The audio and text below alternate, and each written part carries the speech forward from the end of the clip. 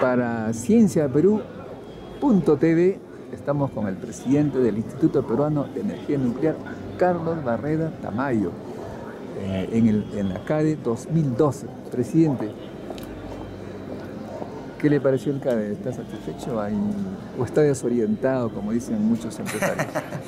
No, creo que es una oportunidad eh, interesante para el país, para el empresariado, para el sector público es una oportunidad de consolidación, que es lo que se ha estado aspirando en esta nueva gestión.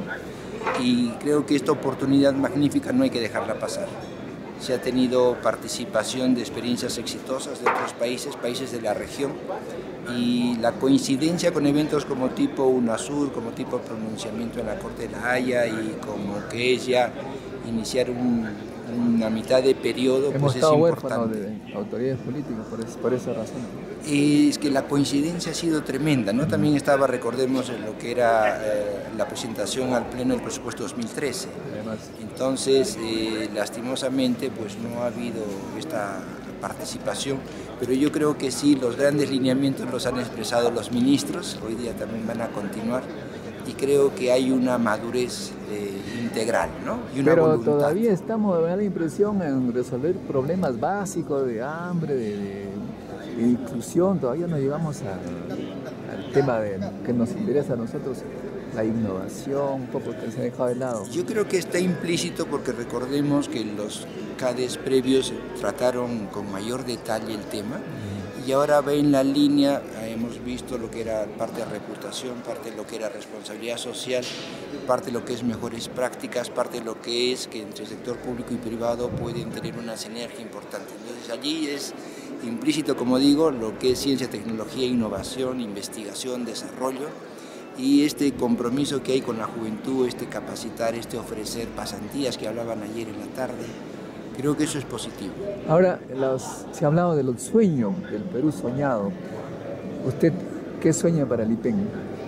Eh, tenemos unos sueños importantes que hay que hacerlos realidad. ¿no? Estos sueños vienen ya de décadas pasadas y ven la línea eh, múltiple que tienen los usos de pacíficos de la energía nuclear, pero también, ¿por qué no?, la energía eléctrica. Entonces ese es un sueño importante, eh, tendría un impacto en diferentes profesiones que tenemos en el Perú y en diferentes niveles y perfectamente pues sería un aval eh, potente. ¿no? se trata de ir contra las convenciones, pero sí de generar nuevos cuadros, sí aprovechar la experiencia que se tiene el personal actual y esto es transversal. Recordemos esta experiencia de semilleros que teníamos, quien se beneficia es la, la industria, el sector, y evidentemente hay que eh, asegurar sueldos, hay que asegurar plazas y tener dónde aplicar. Y tenemos usos en, en, salud, por ejemplo, todas las redes asistenciales, tanto de MINSA, tanto de salud, requieren personal calificado para los equipos que ya están. Entonces ese compromiso es muy importante y esto es beneficio para todo el país. Es un gana-gana porque está segmentado, no compite con los privados.